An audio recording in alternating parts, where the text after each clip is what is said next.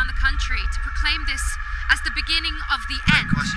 Rioting and looting are being reported in many areas, and police are struggling to maintain. The government is urging Authorities have no idea to idea stay as to calm, objects of stay safe in your We are expecting the president to Just keep your family close.